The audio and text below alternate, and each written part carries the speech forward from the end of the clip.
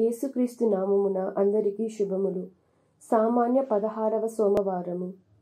ఓయి ప్రభువైన దేవుడు నీ నుండి ఏమి కోరుచున్నాడో నేను మీకు తెలియజేసెదను. మొదటి పఠనము మీకా గ్రంథము ఆరవ అధ్యాయము ఒకటవ వచనం నుండి నాలుగవ వచనం వరకు మరియు ఆరవ వచనం నుండి ఎనిమిదవ వచనం వరకు. ప్రభువు ఇస్రాయేలీయులను గురించి చెప్పునది వినుడు. ప్రభు నీవు లేచి నీ అభియోగమును విన్నపింపుము.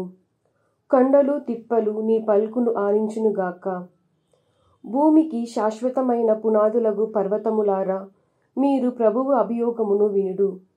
ప్రభువు తన ప్రజలపై నేరము తెచ్చెను వారి మీద ఫిర్యాదు చేసెను. ప్రభు ఇట్లనుచున్నాడు నా ప్రజలారా నేను మీకేమి కీడు చేసి తిని నేను మీ మెట్లు విసిగించి తినో చెప్పుడు. నేను మిమ్ము ఐగుప్తు నుండి తోడ్కొని వచ్చి తిని బానిసత్వము నుండి మేము విడిపించి తిని మోషే అహరోను మిర్యాములను మీకు నాయకులుగా పంపి తిని. స్వర్గములోని దేవుని పూజించుటకు వచ్చినప్పుడు నేనేమి తీసుకుని రావలేను? ఏడాది దూడను దహన బలులుగా కొనిరావలేనా వేల కొలది పొటేళ్ళను పదివేల నదుల ఒలీవు తైలమును కొనివచ్చినచో అతడు సంతుష్టి చెందునా? నేను చేసిన పాపమునకు ప్రాయశ్చిత్తముగా నా జ్యేష్ఠ కుమారుని బలిగా అర్పింపవలెనా? ఓయి మేలైనదేదియో ప్రభువు నీకు తెలియజేసియే ఉన్నాడు. నీవు న్యాయమును పాటింపుము ప్రేమతో మెలుగుము నీ దేవుని పట్ల వినయముతో ప్రవర్తింపుము.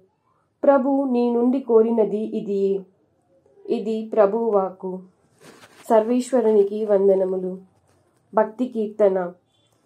నీతివంతులకు నేను దేవుని రక్షణమును ప్రదర్శించదను. నీతిమంతులకు నేను దేవుని రక్షణమును ప్రదర్శించదను. ఈనాటి సువిశేషము పునీత మత్తయ్య గారు వ్రాసిన సువిశేషము పన్నెండవ అధ్యాయము ముప్పై ఎనిమిదవ వచనము నుండి నలభై రెండవ వచనము వరకు.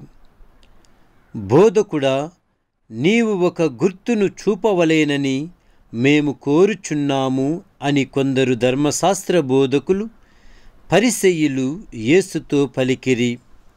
అప్పుడు యేసు ప్రత్యుత్తరముగా దుష్టులు దైవ భ్రష్టులనగు వీరు ఒక గుర్తును కోరుచున్నారు. కానీ యోనా ప్రవక్త చిహ్నము కంటే వేరొకటి వీరికి అనుగ్రహింపబడదు. యోనా ప్రవక్త మూడు పగళ్ళు మూడు రాత్రులు తిమింగల గర్భములో ఉన్నట్లు మనుషు కుమారుడును మూడు పగళ్ళు మూడు రాత్రులు భూగర్భములో ఉండును. నినవే పౌరులు యోనా ప్రవక్త ప్రవచనములను ఆలకించి హృదయ పరివర్తనము చెందిరి. కనుక తీర్పు దినమున వారు ఈ తరము వారి ఎదుట నిలచి వీరిని ఖండింతురు. ఇదిగో యోనా కంటే గొప్పవాడు ఒకడు ఇచ్చట ఉన్నాడు. తీర్పు దినమున దక్షిణ దేశపు రాణి ఈ తరము వారి ఎదుట నిలిచి వీరిని ఖండించును. ఏలయన ఆమె సొలోమోను జ్ఞానమును గూర్చి వినుటకై దూర ప్రాంతము నుండి పయనించి వచ్చెను.